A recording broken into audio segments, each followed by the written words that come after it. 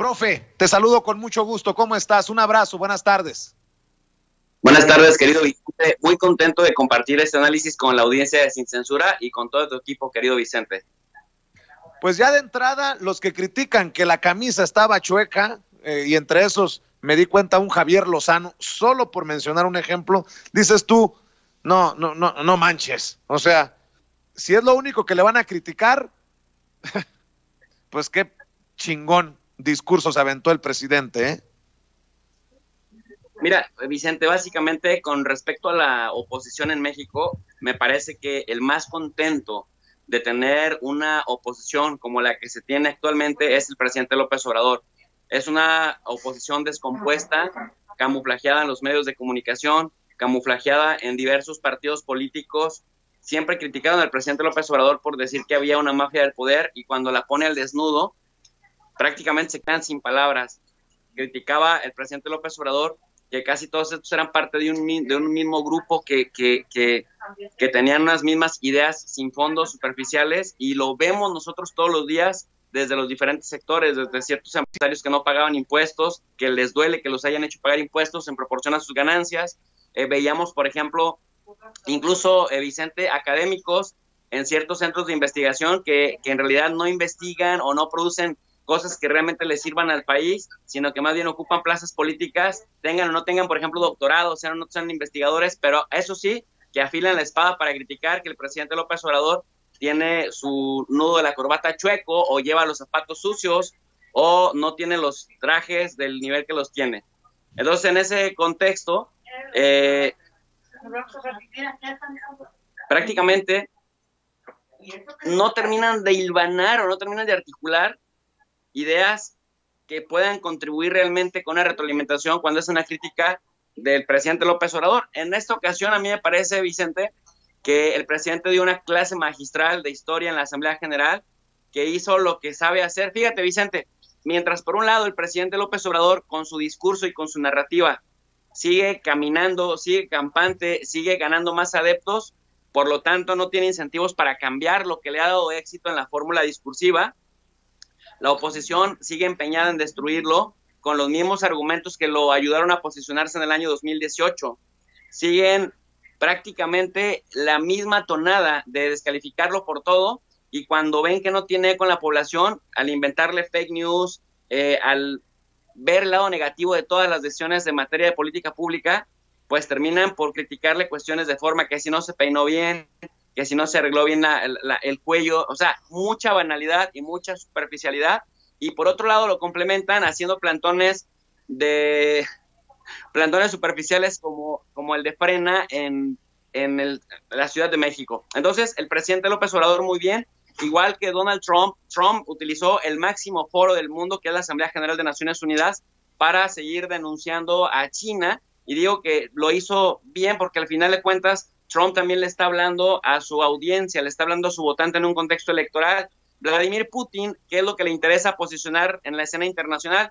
Que Rusia es el más adelantado en cuanto a los descubrimientos de una vacuna en contra del COVID. Bueno, fue a mencionarlo, fue a decirles más, si quieren les vamos a regalar a todos los de Naciones Unidas las vacunas. Es decir, cada presidente utiliza este foro, Vicente, porque las organizaciones internacionales, no olvidemos, lo decía Ian Ford, este teórico constructivista de las relaciones internacionales, son actores, pero también son herramientas, pero también son foros en donde los diversos eh, miembros de las organizaciones pues manifiestan sus posturas. ¿Qué es lo que le interesa manifestar al presidente? ¿Qué es lo que le interesa proyectar a nivel mundial?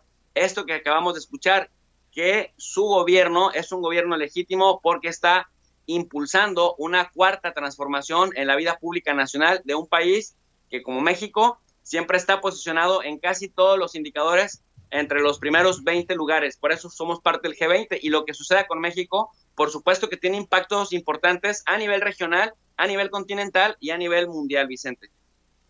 Eh, profe, eh, veo que cada vez más naciones toman en cuenta programas como Jóvenes Construyendo el Futuro, algunos otros cuestionando el Producto Interno Bruto, el PIB.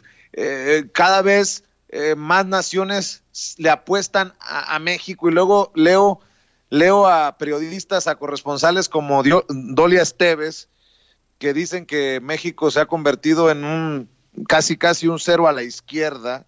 Voy a leer exactamente lo que escribió Dolia Esteves, porque me llama la atención que hasta los corresponsales mexicanos en el extranjero se resbalan al hacer un análisis sobre, sobre México, sobre el presidente.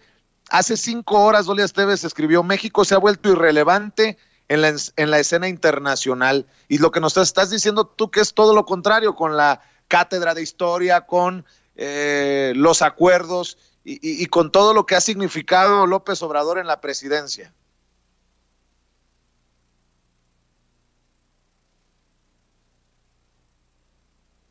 Profe, ¿me escuchas? Ah, pensé que ibas a leer el mensaje de Dolly Esteves. Mira, eso fue lo, eso fue lo que escribió, profe, eso fue lo que escribió. México se ha vuelto irrelevante en la escena internacional. Eso fue lo que escribió. Pues mira, eh, se debería dedicar a ser analista política o evaluadora de políticas públicas. Me parece que personajes como ella, que están encumbrados en una zona de confort, eh, contentos con los anteriores presidentes, contentos con los anteriores, eh, digamos, agasajos que tenían desde el poder, ahora que carecen de ello, se dan el, se abrogan, ¿no? Se autodenominan también evaluadores de las políticas y de los discursos, cuando históricamente su labor fue por otro lado.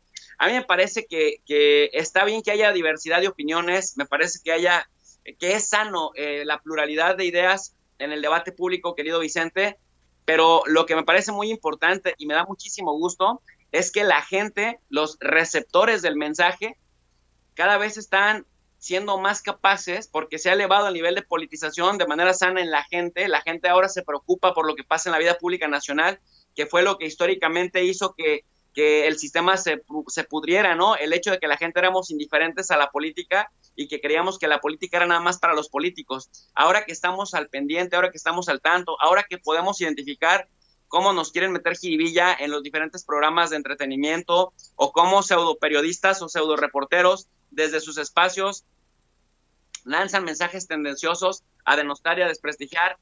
Casualmente, Vicente, todas aquellas políticas y todos aquellos discursos que hablan de la importancia de poner al pueblo por encima de otros intereses, a mí me pareció fenomenal una cosa que dijo el presidente en, la Asamblea General y que fue el hecho de que antes creían que alimentando arriba, ¿no? Con ese goteo que, caía hacia abajo, teníamos para salir adelante o para salir o, para superar una crisis. ¿Y qué dice? No, ahora es de abajo para arriba. Y con el ahorro y con el combate a la corrupción estamos dando pasos agigantados a mí me parece que es muy importante, Vicente, porque no solamente es discurso, es algo que le va a permitir materializar grandes obras monumentales con las que va a marcar su sexenio, que por cierto me parece que sí las va a cumplir, que sí las va a terminar y que no van a ser hospitales y quedaron incompletos como la administración de Felipe Calderón. Y también me parece otra cosa muy importante, que esto se va a convertir en una visión diferente, un modelo eh, paradigmático en competencia con aquellos modelos que creen que engrosando la banca privada, que engrosando las grandes empresas, que dándole prácticamente a todos ellos para que desde ellos caiga un poco una, una goterita hacia abajo, bueno, estos modelos van a tener sus competidores y uno de estos modelos competidores va a ser este del presidente eh, López Obrador, que justamente busca demostrar que si la base, que si abajo eh, está bien, que si el desarrollo, las políticas públicas se plantean, no nada más para paliar cuestiones de segunda, eh, de segunda necesidad, no nomás para dar paliativos, sino hacer reformas estructurales para que desde abajo empiece el desarrollo, Vicente, me parece que pronto vamos a estar viendo que incluso estos mismos que siguen lloriqueando desde sus micrófonos, que siguen eh, criticando banalidades, pues van a tener que reconocerlo a final de cuentas, porque en política el resultado también habla, Vicente. Aunque haya posverdad, van a, va a seguir hablando. De hecho, estaba leyendo de regeneración.mx, que es Escocia el país, el último país que replica el programa Jóvenes Construyendo el Futuro y cuestiona el PIB. Eh, Nicola Sturgeon, la primera, la ministra principal de Escocia anunció el pasado 2 de septiembre un programa de ayuda a jóvenes equivalente al ya creado en México de jóvenes construyendo el futuro que arrancó en enero del 2019. Pero bueno, tú entenderás, México, pinche gobierno populista como pone Rafa Pérez en Twitter, Escocia, qué gobierno tan chingón. Y así las cosas, y así las cosas. Oye, eh, profe, y, y, para cerrar sobre el análisis del mensaje del presidente Andrés Manuel López Obrador en la ONU, eh, algo que además te haya llamado la atención sobre lo que dice el presidente, lo que dijo el presidente ante los países del mundo. A mí lo particular me llamó que eh, la atención que mencionara lo del avión presidencial, ¿eh? Mira, fue fascinante, varias cosas. La verdad es que el discurso en general me parece que fue bien pensado, bien articulado, algo que el presidente domina y algo que te decía está de alguna manera haciendo crecer para que se convierta en un ejemplo a seguir por otros gobiernos que sí se identifican con el discurso de López Obrador y con otros pueblos que ven en la experiencia mexicana un posible ejemplo de lo que después puedan replicar ellos en sus diversos países. Que me parece muy importante que hable de que en los pueblos pobres no puede haber gobiernos ostentosos, Vicente. Eso es un mensaje muy poderoso. Que haya dicho que es el único presidente del mundo que vuela en aerolíneas comerciales y que además recorre el país en carretera, eso lo ves en muy pocos países en el mundo, ¿no? Entonces, me parece muy, muy importante. Mira, yo he tenido la oportunidad de estar casi en los cinco continentes del mundo. No, no quiero que suene presunción, pero quiero darle carnita a este ejemplo que estoy poniendo. He estado afortunadamente en algunos países de África, he podido conocer también países en Europa Oriental, he estado en Asia, en el sudeste asiático, estuve en la India y en, Sudamérica y en Centroamérica también.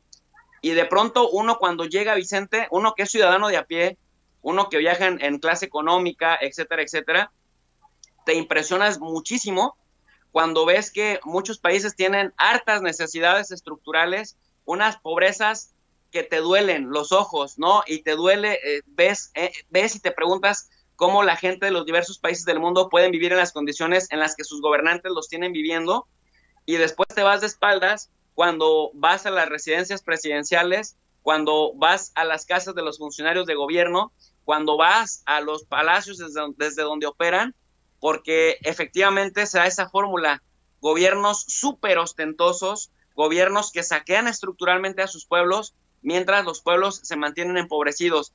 La fórmula y el mensaje del presidente López Obrador no solamente es para México, Vicente, es, mira, la mayor cantidad de países en el mundo son países eh, semiperiféricos y periféricos. Esto en la teoría de la, en la teoría del sistema del mundo de Immanuel Wallerstein significa que somos países que tenemos desigualdades estructurales muy importantes y una de ellas empieza por quienes dicen que van a solventarlas, que son los gobiernos.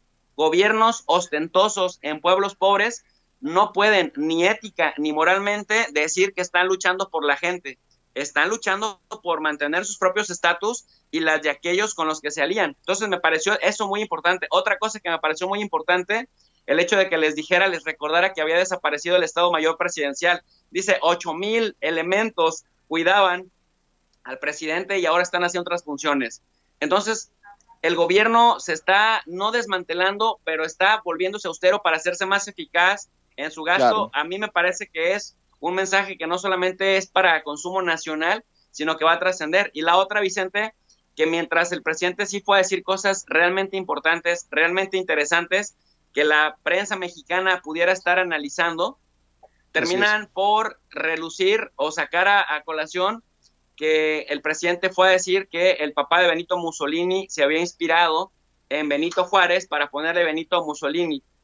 Quieras que no, despreciable o no, Benito Mussolini pues el presidente tiene razón, ¿no? O sea, la idea, la idea, la imagen de Benito Juárez como benemérito de las Américas trascendía fronteras y se ganó admiración no solamente entre los que pensaban como él, sino incluso entre quienes pensaban distinto. Y este es un ejemplito así pequeñito de lo que le da, digamos, sentido a la, a la frase que decía el presidente López Obrador. En ningún momento López Obrador alabó a Benito Mussolini, en ningún momento dijo que era lo máximo, dijo que el padre de este señor en un tiempo histórico determinado se había inspirado en Benito Juárez para bautizar así a alguien que después se volvería un personaje eh, histórico muy influyente, que por cierto, Vicente, muchas de las prácticas de Benito Mussolini son las que históricamente se han replicado en México por parte de los críticos del presidente López Obrador. Yo con eso me quedaría, querido Vicente. Pues cerremos invitando a la gente para que te apoye en tu canal de tu profe de RI, mi querido eh, Jesús López Almejo, porque sé que sigue creciendo. Así es, querido Vicente, y te agradezco mucho el respaldo y el apoyo desde tu canal. Ha sido muy importante para nuestro crecimiento. Eh, conscientes de que queremos aportar un granito de arena para el despertar de las conciencias, eh, damos clases gratuitas de relaciones internacionales, de geopolítica y de organismos internacionales todas las noches de lunes a sábado a las 11 de la noche en el canal de tu profe de RI y en la descripción de cada video ponemos una lectura en formato PDF gratuita para que la gente pueda tener dos cosas, la exposición oral y también la lectura complementaria para que realmente reproduzcamos el ambiente universitario en las redes sociales. Queremos elevar el nivel de análisis en las redes sociales, querido Vicente, y en el canal de tu profe de RI, ahí vamos pian pianito caminando poco a poco. Me da mucho gusto, profe. Te mando un abrazo y éxito. Muchas gracias, querido Vicente. Bonito día para todos. Igualmente.